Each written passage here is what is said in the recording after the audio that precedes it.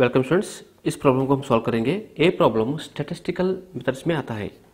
In a in a partially destroyed lab record only the lines of regression on Y on X and X on Y are available as four X minus five five Y plus thirteen equal to thirty three equal zero and twenty X minus nine Y equal to one not seven करके है।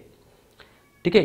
Naive respectively calculate the coefficient of correlation between X and Y करके है। Okay okay, तो बहुत ही simple example है. First मैं इधर फॉर्मूला लिखूँगा लिखूँगा.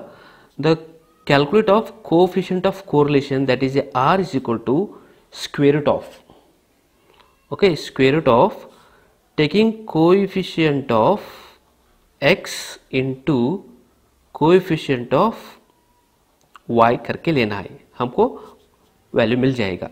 So coefficient of x coefficient of y कैसे फाइंड आउट करना है? ये इक्वेशन यूज़ करना है. फ़र्स्ट हम इधर इक्वेशन यूज़ करेंगे। 4x X minus five Y plus thirty three equal to zero करके है। ओके सो माइनस फाइव को इधर शिफ्ट करें तो प्लस फाइव वाई हो गया, हो जाएगा। Five Y equal to four X plus thirty three हो गया। सिर्फ़ हमको y चाहिए। That is equal to Y equal to मतलब डिवाइड बाई फाइव करेंगे।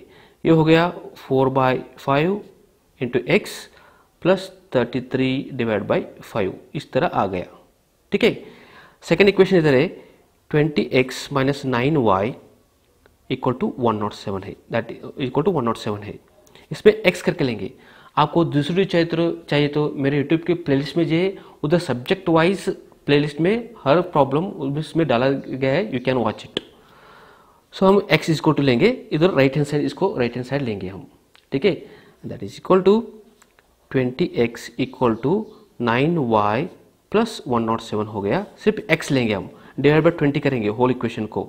ये आएगा X is equal to nine by twenty into Y plus one not seven divide by twenty इस तरह आ गया।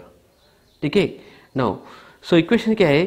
The square root R is equal to square root of taking coefficient of X and coefficient of Y करके है इधर taking coefficient of x क्या है? Four by five है। इस इक्वेशन में कोएफिशिएंट ऑफ़ वाई क्या है? नाइन बाई ट्वेंटी है। इसको ही लेना है।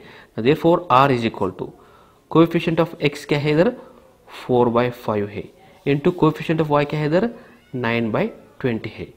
बहुत ही simple example that is equal to square root of four on ज़ा फोर फाइव ज़ा twenty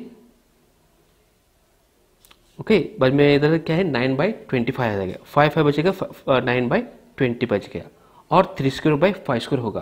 That is equal to plus और माइनस थ्री बाई फाइव होगा। सो so, दोनों एक्स एंड वाई क्या है? दोनों पॉजिटिव है। इसलिए क्या लेना है? Therefore R is equal to plus three by five लेना है। That is equal to point six आएगा। This is required a solution अगर आप इस वीडियो पसंद है तो सब्सक्राइब कीजिए लाइक कीजिए कमेंट्स भी दीजिए। सब्सक्राइब कीजिए तो नई वीडियो को नोटिफिकेशन आपको मिलेगा। आपको दूसरे चित्र में मेरे यूट्यूब के प्लेस में जाइए और आई बटन में भी कुछ लिंक्स है और इस वीडियो के डिस्क्रिप्शन में कुछ लिंक्स है। Thanks for watch